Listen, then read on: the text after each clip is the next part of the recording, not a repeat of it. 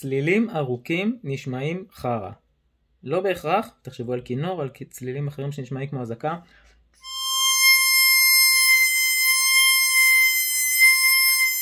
וכאלה.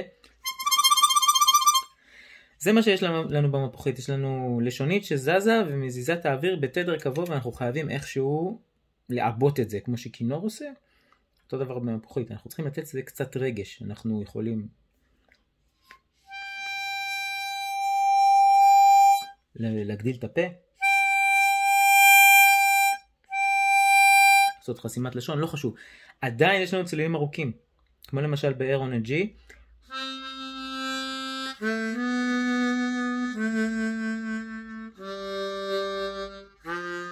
אוקיי?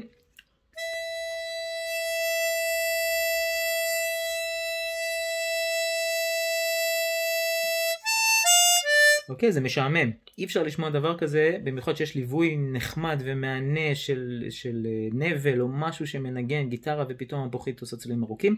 זה גם שאנחנו מנגנים מלודיות של שירים מוכרים ופתאום שומעים איזה צליל ארוך בסוף. צריך לעשות עם זה משהו, אוקיי? אנחנו יכולים לעשות ויברטו, אנחנו יכולים לעשות טרמולו.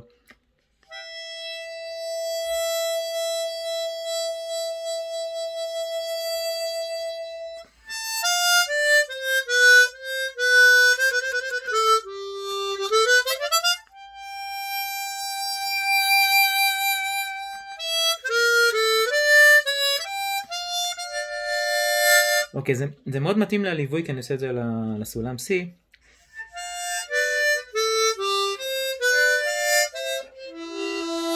אבל לפני האוקטבות וההרמוניות והכל, צלילים נקיים שאנחנו מנגנים סולו, לא משנה, כל, כל ראשון, כל שני, אנחנו צריכים לתת קצת עיבוי.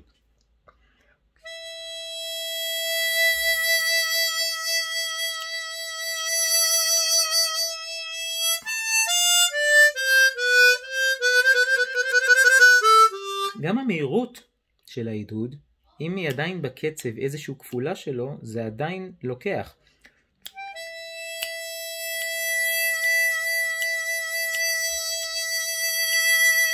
משהו, אוקיי? כאן אני מוריד ומעלה. אני יכול לעשות את זה עם הרדה. או עם העידוד. או ביחד.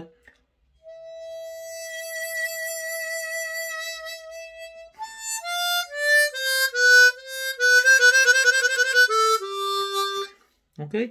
אז צלילים ארוכים, אם הם לא נשמעים יפה, יש לזה סיבה. ואתם יכולים לעשות דברים כדי שישמעו קצת יותר יפה. בזה שאתם משנים את הצליל, מגוונים אותו, כמובן לצורה היפה יותר שלו ולא למשהו שלא נשמע טוב, ובשביל זה צריך להקליט ולשמוע. אז בהצלחה, תחשבו על זה בשירים שאתם מנגנים, ותקשיבו, ואם יש לכם משהו לעשות בקצב, גם עם שינוי של הקצב של ההדהוד או הוויברטו, מה שאתם עושים, בדיוק כמו בשירה, שאני לא אשיר זה לא נשמע טוב, זה לא יישמע טוב גם במפוחית או בכינור או בכלים אחרים שעושים צליל סטטי. זהו, תהנו, מוזיקה טובה.